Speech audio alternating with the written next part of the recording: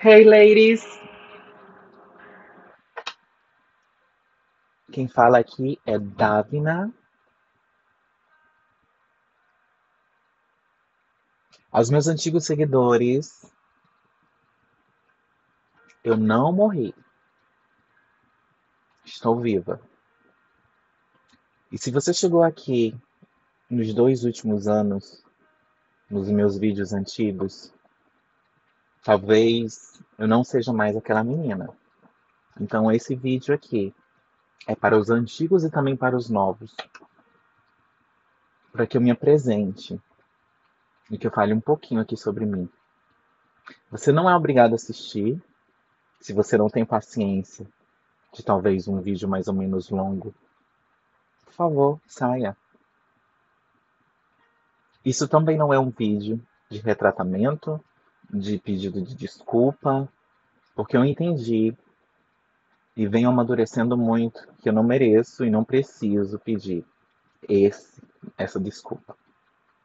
Há dois anos atrás, eu me afastava das redes sociais. Sim, deletava tudo. Do meu aparelho, de todas as coisas. Como muitas vezes eu fiz isso durante a minha vida. E eu então entendi que nesse ponto era algo que eu deveria tratar. Porque durante o processo da minha vida, eu fiz isso com amizades, com famílias, com familiares, com, com questões de vida, que de um certo momento eu joguei tudo para e abandonei. Mas naquela época, eu estava procurando isso, expor esse propósito, esse sentimento, essa alma. E agora, já vivendo nessa alma, o que, que eu estaria procurando? O que, que, que eu precisava mais? Acontece que você e eu estou afirmando, a vida não é fácil para nós mulheres transgêneros, travestis, transex, chamel, I don't care, que pode ser usado, como você se identifica. Somos tantas, tantas já vivendo, tantas partindo, tantas sofrendo e muitos outros tantos desejando e não tendo ainda a coragem, a disposição de chegar até aqui. Acontece que eu passei o início e sempre ouvi que a transição era uma libertação.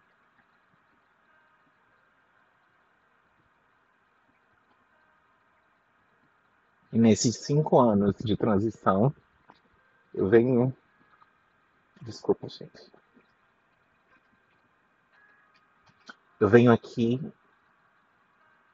não me libertando, desconstruindo. A gente começa ainda, ainda mais quem começa uma transição tardia, deve entender muito mais as coisas que eu estou falando, né? a gente desconstrói tudo. E a sociedade ainda, dentro dos limites que a gente consegue caminhar, porque a sociedade faz a gente correr de salto, né? A mulher já tem essas expressões. E nós saímos de um padrão para se encaixar em outro. Não é fácil ser mulher. É muito mais difícil ser transgênero. É muito mais difícil ser uma mulher como nós, ou um homem como nós, ou apenas ser um ser humano como nós. Assim eu gosto de me identificar. E esses últimos anos, vivendo em silêncio, mas foi um silêncio total mesmo, tá? Não foi uma coisa que eu abandonei e saí das minhas redes sociais e nada. É um silêncio total mesmo. tudo foi desmoronando. As amizades vão surgindo, vão desaparecendo, você some das redes sociais, acaba os contatos, as ligações vão sumindo, e o que te resta é realmente só aquelas pessoas que estão estão tendo um pouquinho de você, né? Aquele retorno. E eu sempre fui uma pessoa do retorno, mas não da busca. Se você me liga, se você me manda mensagem, eu vou te responder. Eu vou expor meus sentimentos. Eu tenho muita urgência de dizer para as pessoas que sinto. Se é amor, se é carinho, se eu te amo. Inclusive,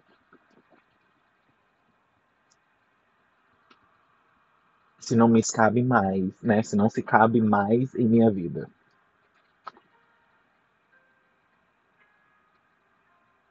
Desculpa as pausas, eu preciso abrir essas portas dentro de mim.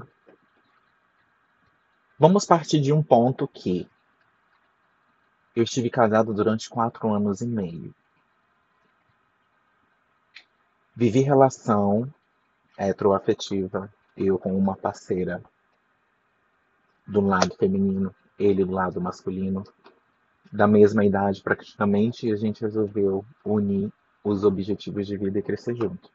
Porque relacionamento é uma disposição, né? São duas pessoas que decidem construir uma vida juntos. Mas eu já vim preparada. Eu já estou muito preparada para a vida. Uma vez eu saí de casa aos 16 anos de idade, né?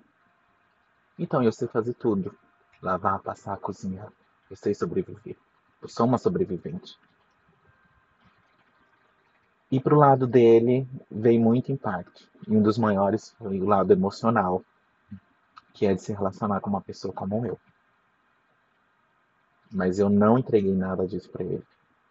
A sociedade o pune também, como nos puniram. E tudo que está ao nosso redor vai sendo punido ao mesmo tempo. Família, mãe, amigo, todos. Então, há de ter muita coragem também que nos cerca.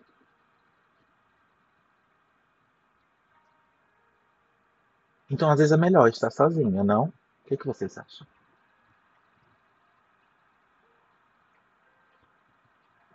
Assim eu me mantive durante esses dois anos. Eu realmente sumi durante um ano completamente.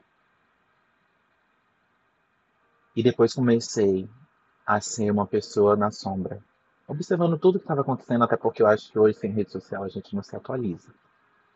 Vivendo fora do Brasil, mas ainda que a rede social no Brasil ela é muito ativa. Você tudo é muito rápido, tudo acontece muito rápido. Mas eu também desacelerei. E dentro desses processos de ré, de parar, de respirar, de ouvir minha voz, de entender quem eu sou, de como eu quero me importar, de como eu quero que você me veja, porque é assim que somos nós mais do que uma genética, mais do que o sangue. Porque eles vão continuar sempre afirmando o que nós somos biologicamente. Como nascemos, ao que pertencemos. Sem nos dar o valor do que escolhemos pertencer, aonde queremos estar e como queremos, como queremos estar, né? De que forma, o que usufruir, o que comer, o que vestir. É muito duro viver como uma pessoa como eu. É muito difícil. E os prazeres, eles moram dentro de nós. Porque é dentro de nós que a gente tem a certeza que, mesmo diante de todas as dificuldades, a gente continua aqui, resistindo. No meu caso, eu comecei uma transição tardia. Então, tudo que me falaram sobre libertação, liberdade, ser freedom, viver livre, talvez eu comece a entender um pouco agora. Porque todos esses cinco anos de transição, eu só vivi a desconstrução. A gente começa pela desconstrução do nosso ser, a gente depois passa a desconstruir os amigos, a família, os meios. Só que quando a gente desconstrui, a gente entende que não tem nada construído pra gente. Não tem uma rua. A gente entrega um oceano gigantesco para você nadar. E aí muitas estão se afogando. Não conseguem nadar mais do que os 35. É o que dizem, né? Muitas outras também escolhem se afogar porque elas sabem que sem a boia elas vão morrer. Elas vão. E essa boia que elas não querem entender seriam exatamente as escolhas que a gente faz de vida que nos fazem mal. É medicação, é cirurgia, é coisa errada, é procedimento errado, forma de viver, forma daquilo. Eu sei que somos empurrada, é isso que eu tô falando, nós somos empurrada a nadar. E eu estava me afogando quando decidi sair. Começou com ansiedade, e essa ansiedade começou dentro de uma relação que já estava sendo abusiva, de uma religião diferente, de uma cultura diferente, e eu passei a ser a, a mulher modelo, a mulher ideal. Eu queria viver aquilo. Eu tinha certeza que eu queria viver aquilo. Mesmo tendo desenvolvido muitas áreas da minha vida, sendo empreendedora, sendo gestora, com capacitação, com tudo, mas eu decidi viver para cuidar de um homem. Depois disso, as coisas vão acontecendo de forma abusiva, com amor, com carinho, com afeto. Que você não pode isso, que você não vai poder aquilo, e aí então você vai ali então abrindo aquelas caixinhas que você já viveu lá no passado da sua vida, quando você era adolescente, que você não pode isso, que você não pode aquilo, que isso não pode, que é isso e aquela, tá e tá e tá. Mais uma vez a gente se depara com dificuldades. E aí entendi quanto era profundo aquele oceano que eu estava imersa. Porque sair desse sentimento, dessa relação de ansiedade, de depressão e de tudo, é muito difícil. E aí eu encontrei dentro de mim mesma essa autocura. Precisou muito tempo, foram muitos meses, me renegando, renegando as coisas que eu tinha, renegando as oportunidades, não para isso, não para aquilo, não para aquilo. Então me amarrei nas coisas que eu gostaria, que eu tinha continuidade. Então continuei estudando, me capacitei, me formei em mais uma graduação, mais uma especialização aqui fora. E vivi aquela vida pacata, tranquila, de cuidar de casa, de cuidar de mim, de proporcionar uma família e de construir sonhos e pensar em mais e mais e mais. E tudo veio por água abaixo mais uma vez. E a gente finaliza esse relacionamento. Eu não sei se é graças a Deus, eu não sei se dizer que eu sinto falta, mas é que eu vivi essa experiência e me disseram no início que eu não teria. Me disseram também que eu não ia construir outras milhões de coisas que eu venho aqui trazer para vocês. É um vídeo importante para essa volta, porque agora me refez, me faz diferente, não mais como essa pessoa ou essa menina ou essa pseudo imagem feminina que vocês viram nos vídeos que já são postados, né? Que faz parte da minha história. O meu masculino também faz parte da minha história. E eu resolvi perdoá-lo e trazê-lo junto comigo. Isso faz muita diferença enquanto eu me entendo como ser humano, como ser humano transgênero na sociedade em que eu vivo. Isso me cura dos, das coisas com qual eu próprio me agrido. Agrido? É. Que eu próprio tenho me agredido ou que já fiz. Que eu me coloquei naquela, naquela situação ruim, onde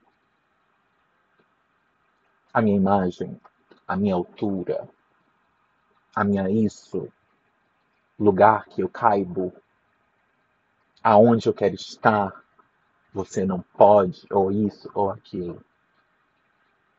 E eu fui. E eu estou aqui. Das muitas mensagens que eu recebi nos últimos tempos, que era quase um sinal de quando eu não queria voltar para isso, talvez eu não pensava na minha mente que eu não preciso disso, porque ainda ali eu não estava entendendo o meu propósito. Meu propósito de vida, você tem o seu. E aí as mensagens, o que, que aconteceu com ela? Ela sumiu, ela desapareceu, alguém sabe, alguém tem notícia. Tudo. E nos últimos tempos, pouquíssimas pessoas que não cabem em uma mão, que é o qual eu mantenho contato mesmo. Mas a minha rotina de vida começa. E logo em breve vocês vão começar a fazer parte disso. Quero trazer vocês para minha rotina de vida. É importante que as pessoas entendam como funciona a rotina de vida de uma pessoa como eu, de um ser humano como eu. Continuo me cuidando, continuo me amando. E, em primeiro lugar, desenvolvi meu lado espiritual, consegui me conectar com o divino. E não é sobre religião, é sobre mim mesma, mais uma vez. Para quem não me conhece, eu saí do norte do país, de uma família de classe média baixa. Eu ia fazer os 16 anos de idade. Meu pai tinha acabado de falecer e a estrutura, a situação da minha casa era insalubre. Na minha infância, eu passei por todos os tipos de abuso que vocês possam imaginar, que vão fazer parte dos vídeos que vêm na frente.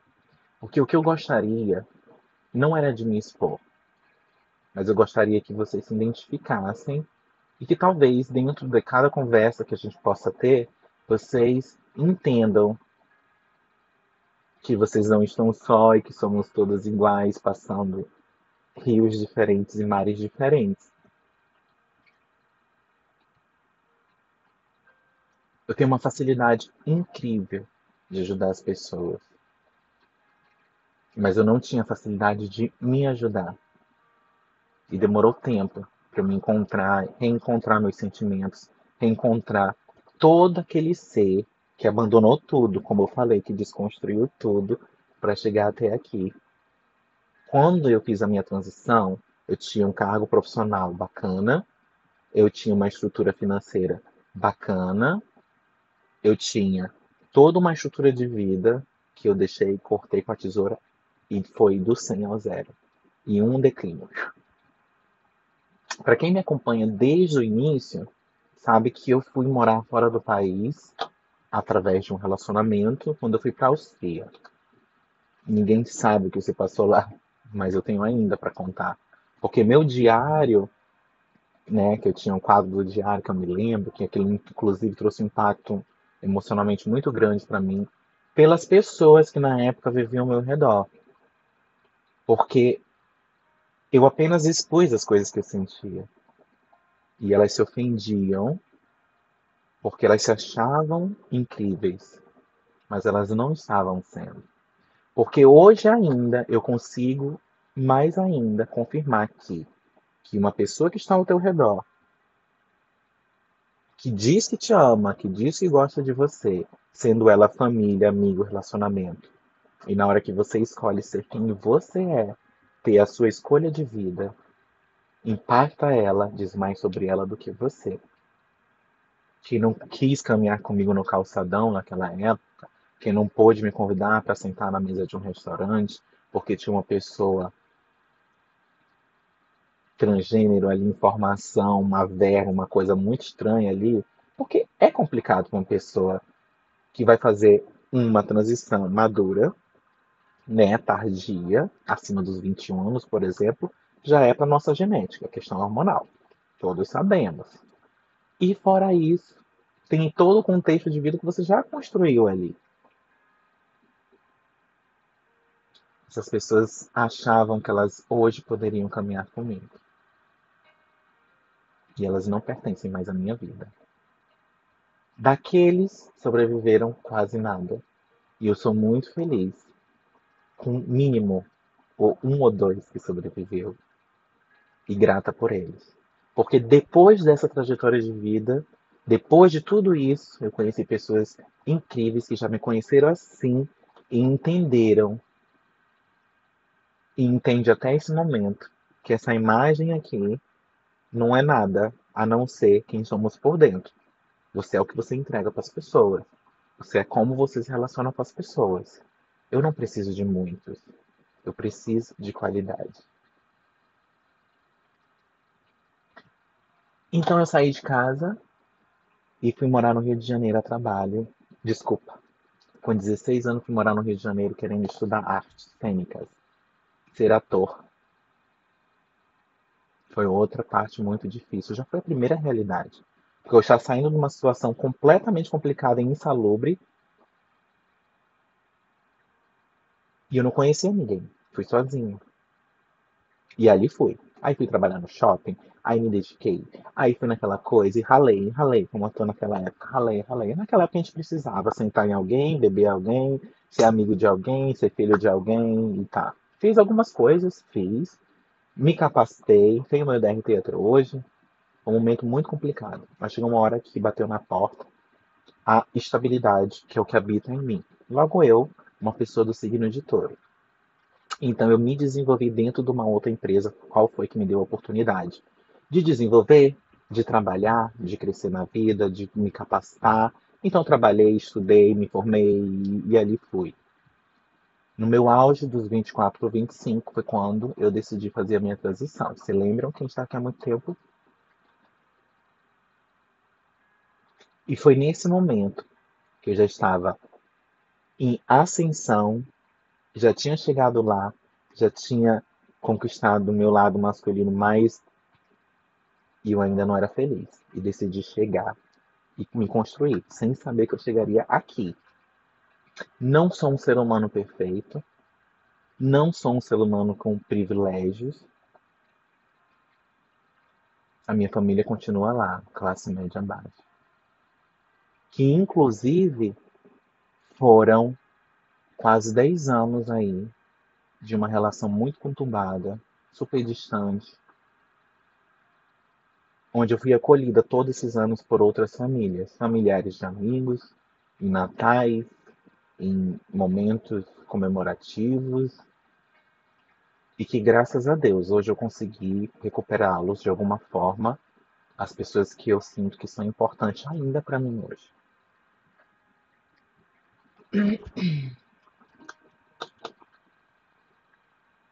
Nos últimos meses, eu vivi momentos lindos, que eu viajei com minha mãe. E a gente viajou muito. Nesses últimos dois anos, eu tenho via viajei bastante também. Com pessoas que eu gosto.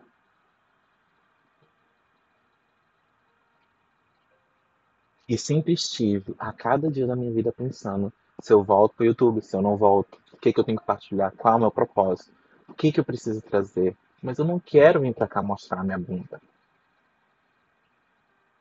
Eu não quero vir para cá ter que validar a minha capacitação, a minha formação. As vulgaridades do meio feminino a gente já entende. Sapato, bolsa, perfume, maquiagem. É gostoso. É maravilhoso viver isso. Não estou falando que não.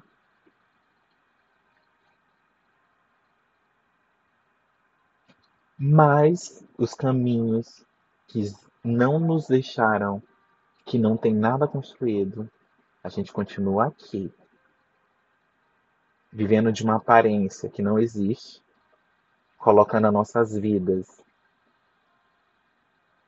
na mão da beleza, porque o que diz, o que rege, o que condena, o que é a imagem, a aparência. Nesses cinco anos eu venho saturada de querer conhecer pessoas da minha comunidade, do meu meio, com inteligência, com estado emocional, com sonhos, com projetos. E eu conheci, eu tenho conhecido. Mas ainda quero te dizer que passando muitas coisas nesses últimos tempos. A pandemia foi muito dura comigo, porque eu não pude viver o luto de pessoas que eu perdi, foi o meu melhor amigo e uma mãe do coração. Que até isso foi desvalidado, o sentimento que a gente tem pelo outro.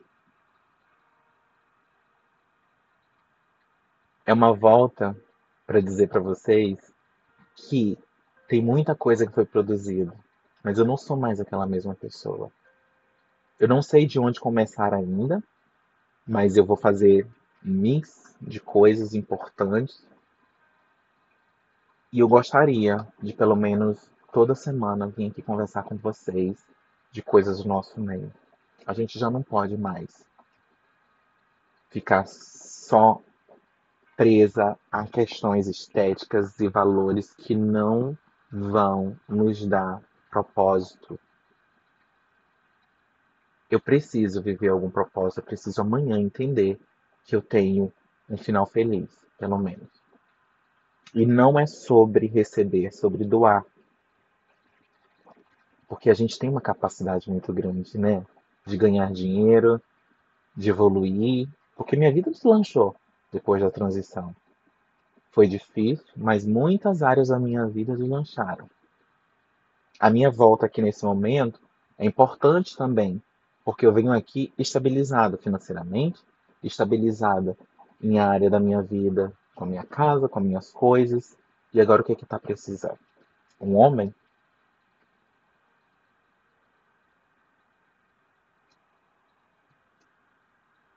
A política está aí sendo mimada, com pessoas aí que estão trabalhando arduamente.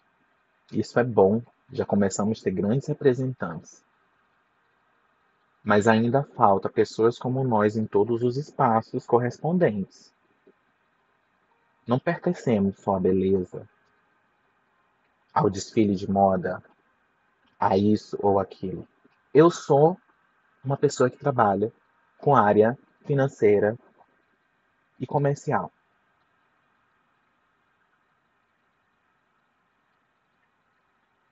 Nesses espaços que eu vou, eu sinto falta dos meus.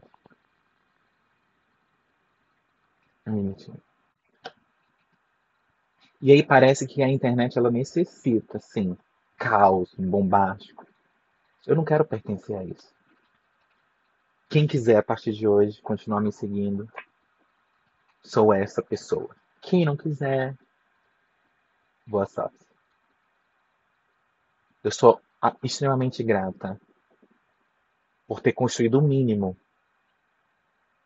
E eu sei, porque já me disseram, mas eu sei também que eu poderia estar muito mais lá à frente, aqui com vocês, com muitas coisas construídas, desenvolvidas. Eu não fiz, porque não foquei, porque não dei prioridade. Mas construí outras coisas também. Mesmo que todos estejam esperando aí a nossa morte, a nossa partida, menos uma. E a gente continua resistindo. É sobre a gente tentar mudar o nosso meio de alguma forma e querer sempre um futuro melhor, né? Precisamos disso. A gente não precisa ser 100% feminina ou isso ou aquilo. A gente precisa sim trabalhar a empatia para entender das cirurgias que eu fiz. Não vai fazer diferença. Das mudanças que você faz no seu corpo também não vai fazer diferença. Se você é passiva, passiva ou passivona, não vai fazer diferença. Se seu corpo é mais isso ou não sei o que aquilo, também não vai fazer diferença. O que fará diferença será as pontes que você cria para os seus amigos. Nós, comunidade. É importante a gente construir um meio onde a gente busque modificar um pouco mais do que vem, como nos vem, para outras que estão vindo. Se você é uma menina que está buscando e que chegou aqui no meu canal em busca desse desejo de transição, vai a fundo, estuda muito, porque é muito importante você entender todas as coisas que você vai enfrentar, de lá até aqui. Já chorei muito. Já chorei mares e rios, mas não. Ainda bem que eu não sou cantor. Bem, gente. Um beijo. que se cuidem. Agora estou de volta com vocês, sem pressão. Até breve. Espero que você esteja bem. Deixa aqui embaixo um oi. Vou estar muito, muito, muito, muito, muito feliz de voltar aos poucos aqui com vocês. De verdade. Me desculpe a todas as pessoas que me mandaram mensagem que eu nunca pude responder. Eu não estava bem. Me desculpe a todas as coisas que aconteceram que eu contei para vocês. De qualquer forma, essa é uma realidade crua, nua como esse vídeo sem filtro. É. Eu acho que agora eu posso me sentir um pouco mais segura de voltar aqui e não ter que ficar me reafirmando em coisas que eu não preciso. E que vocês abram um pouco a mente de vocês para coisas novas, para outras visões, outros padrões. Não é todo mundo que está naquela profissão lá que dizem que a gente pertence. Não é todo mundo que está fazendo aquilo que todo mundo acha que a gente faz. Não é todo mundo que está na vagabundagem. Nós temos família, nós temos objetivo e tem muita gente ralando aí. Aqui fora tem muitos aspectos bons. O Brasil também tem muitos aspectos bons. Mas aqui tem muita coisa ruim também pra gente, como qualquer outro lugar do mundo. O mundo não é seguro para mulher e é infinitamente mais inseguro para nós. Mas eles continuam querendo nos usar e usufruir dos nossos corpos dentro de quatro paredes. E por que você ainda continua integrando isso? Integrando? Não. Entregando. Sorry. Why? Por quê? Eu me respeito. Aprendi a me respeitar cada vez mais. E é este momento agora que eu consigo viver dentro de mim com escolhas mais assertivas de que eu já sou uma outra pessoa, que eu tenho outros valores, que eu tenho muita coisa diferente agora para tratar com vocês.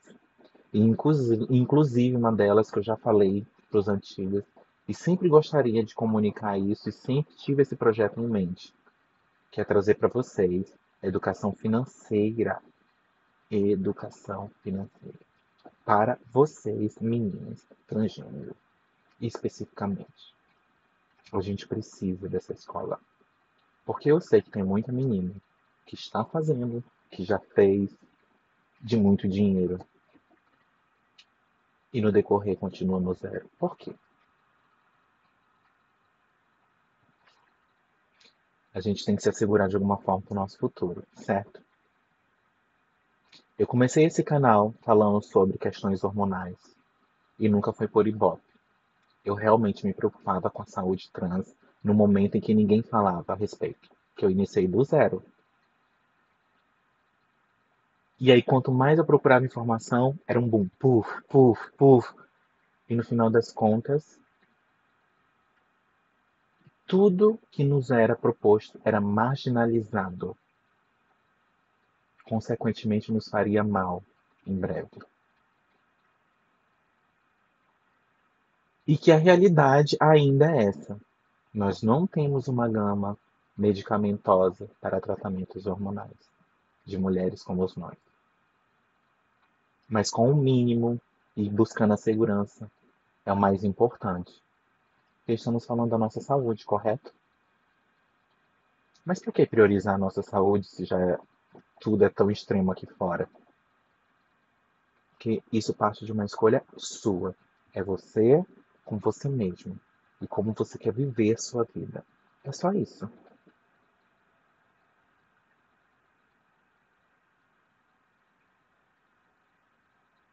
E a gente investe tanto na gente. São muitas cirurgias, é muita gente trabalhando, correndo atrás de dinheiro, só para o próximo peito, para a próxima bunda, para a próxima isso. E sendo enterradas como indigentes.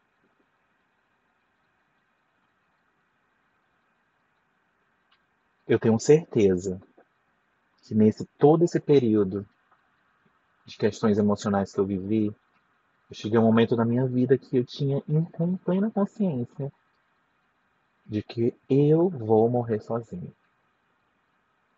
Mas eu vou entregar a mim mesma uma certa dignidade. Só isso.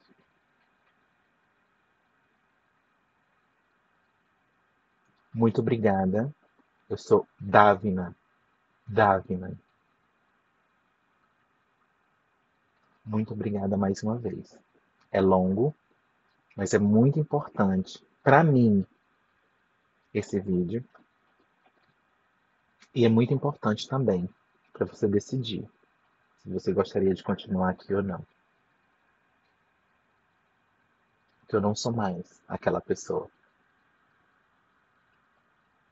Sou melhor. Um beijo.